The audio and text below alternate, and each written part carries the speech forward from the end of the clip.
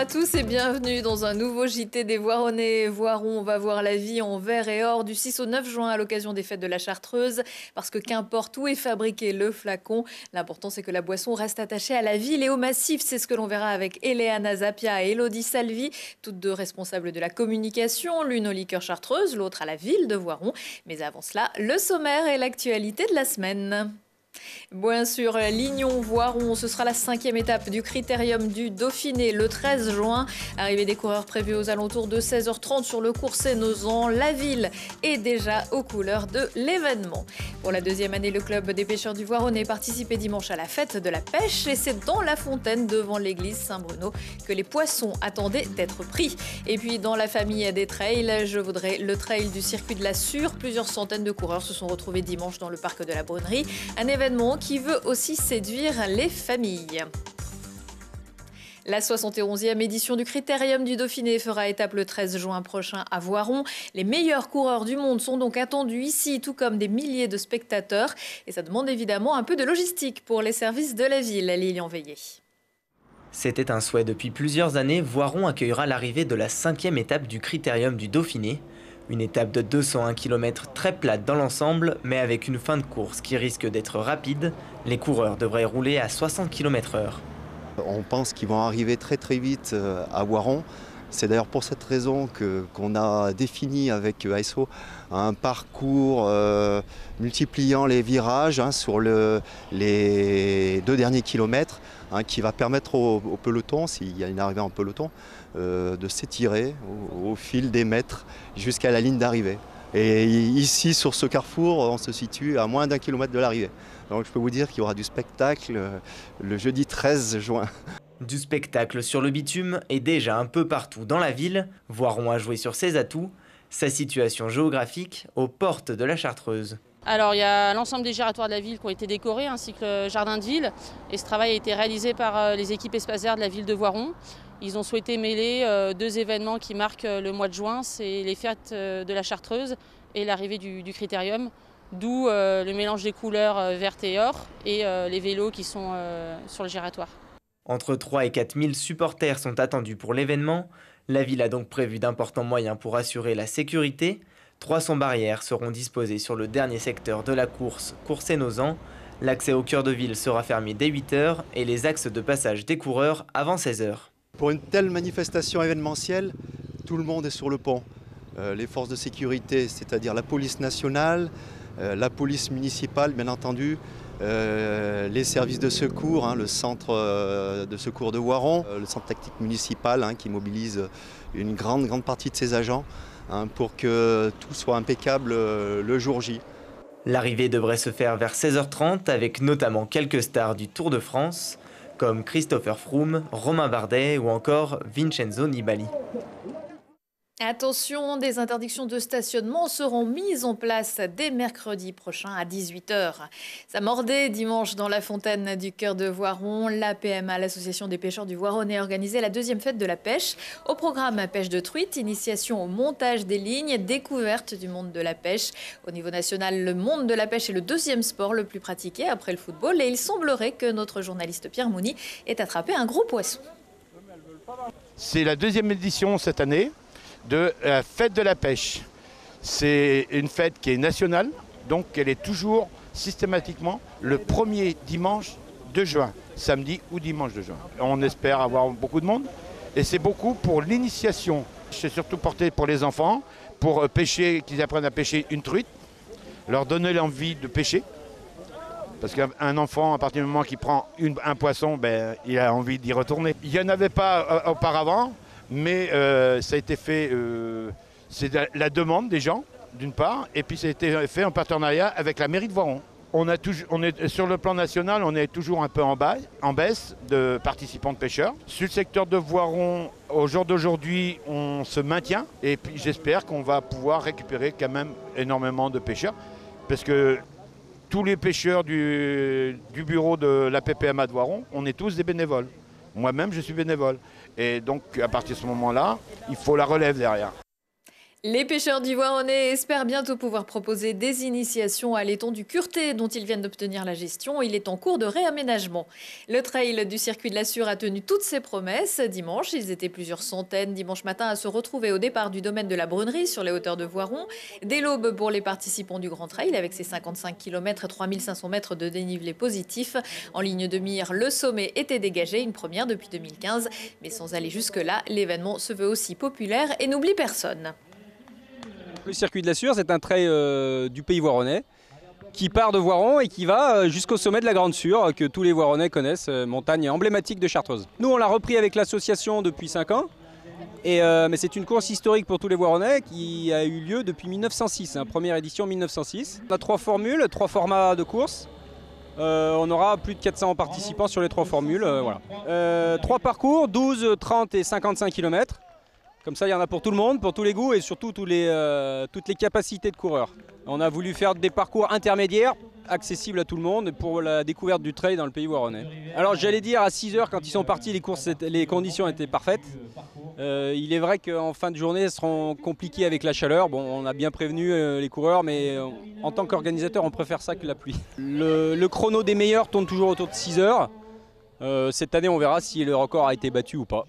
Eh bien, la réponse est non. Chez les hommes, c'est Jérôme Lavie qui s'est montré le plus rapide en 6h19 minutes 50 secondes. Aline Juglaré a pris la première place chez les femmes en 8h59 minutes et 56 secondes.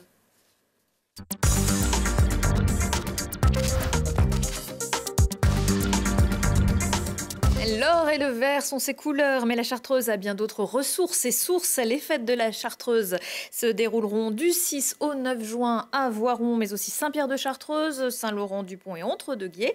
On en parle tout de suite avec vous, Eléana Zapia. Bonjour. Bonjour. Vous êtes responsable de la communication des liqueurs chartreuses. À vos côtés, Elodie Salvi. Bonjour. Bonjour. Euh, vous êtes vous chargée de la communication à la ville de Voiron. Alors, il y a deux ans, vous, avez, euh, vous aviez donné le coup d'envoi de cet événement, à l'époque les fêtes vertes et or. Pourquoi avoir changé de nom? Absolument. En fait, lors de l'édition 2017 des Fêtes Vertes et Or, les communes ayant dans leur histoire accueilli une distillerie de Chartreuse, donc Saint-Pierre de Chartreuse, Saint-Laurent-du-Pont, Voiron, Entre-deux-Guiers pour l'actuelle distillerie, mais également Tarragone, ont signé en communion euh, un pacte d'amitié chartreuse qui en fait témoigne de l'attachement à la fois des habitants aux liqueurs chartreuses, mais aussi des liqueurs chartreuses à leur ancien site de production qui représente 400 euh, ans d'histoire euh, des liqueurs. Alors ça, c'est euh, le pourquoi, mais le petit changement de nom, Elodie? Le changement de nom, ben, en fait, on voulait donner une autre dimension aux fêtes et s'ouvrir sur, bah, sur ces territoires de Chartreuse qui ne sont pas uniquement euh, lié à Voiron. Donc c'était euh, le bon moment, puisqu'on accueillait euh, les communes du pacte d'amitié, de, de, changer de nom pour l'événement et ainsi de mieux les intégrer dans le projet. Voilà, d'aller voir un petit peu du côté de la forêt peut-être. c'est quoi Donc le but, c'est de se retrouver, c'est ça, c'est de faire la fête tous ensemble, de montrer finalement à tous les habitants du territoire ce qu'ils partagent aussi?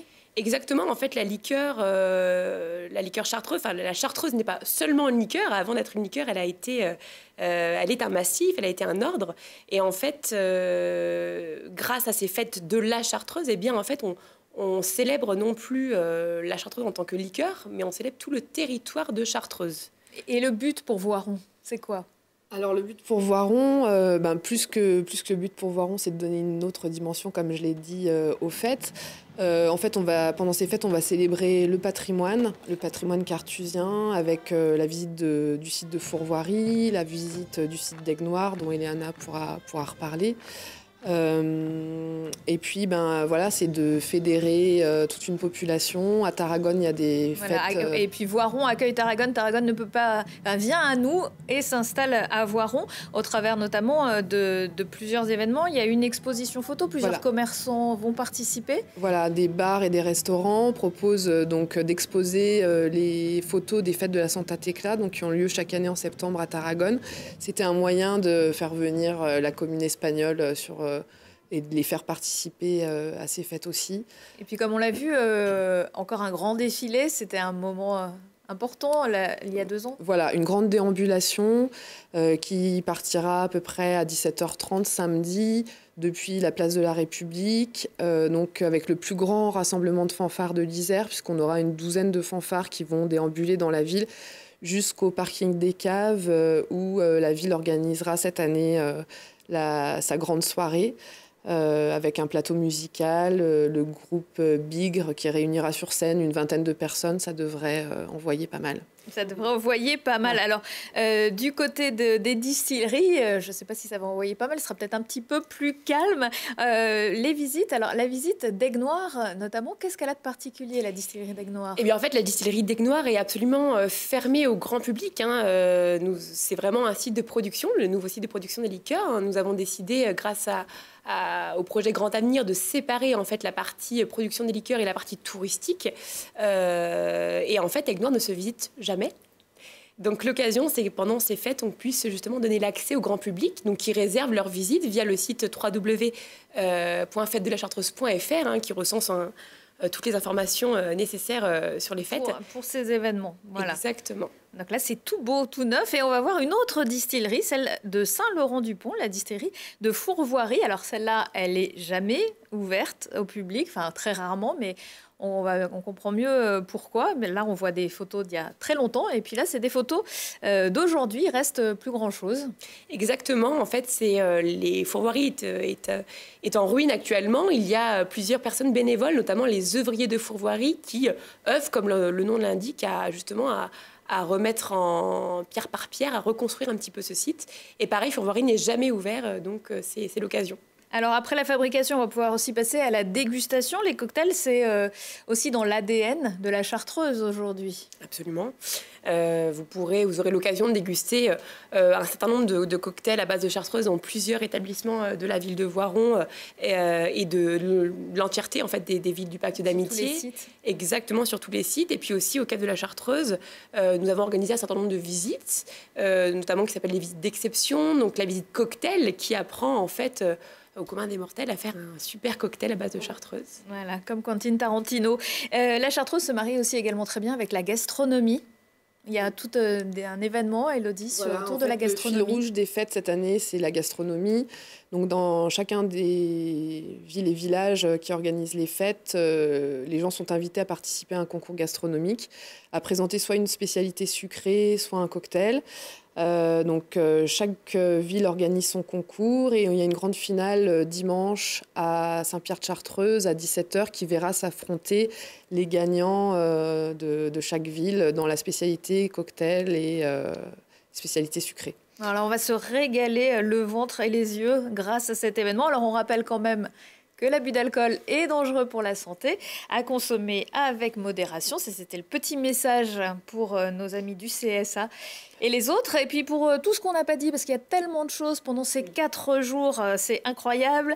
Et il existe donc un site internet, vous nous l'avez rappelé tout à l'heure, c'est fête de la chartreuse.fr. On en reparlera bien sûr dans le prochain JT des Voironnais. Merci à toutes les deux d'être venues nous parler de cet événement.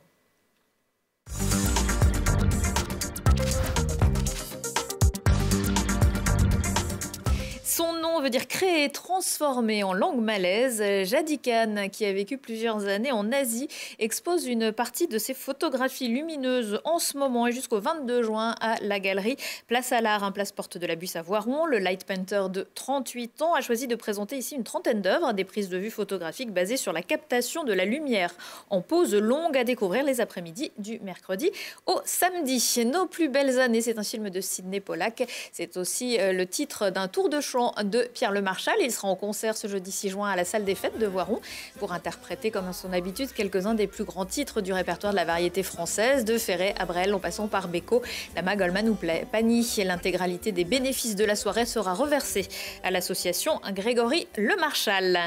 Pas besoin d'avoir les nerfs en pelote pour participer samedi 8 juin à la journée mondiale du tricot. Au contraire, puisque cette activité qui connaît un renouveau auprès des jeunes adultes permettrait de se détendre. À Voiron, ça se passe chez Bordelaise, rue Bourg de Péage, de 10h à 17h. Au programme des ateliers gratuits pour découvrir et partager sa passion du tricot, mais aussi celui de la couture et du crochet. Novices et fans sont les bienvenus. Un événement en partenariat avec So Couture et la librairie Colibri.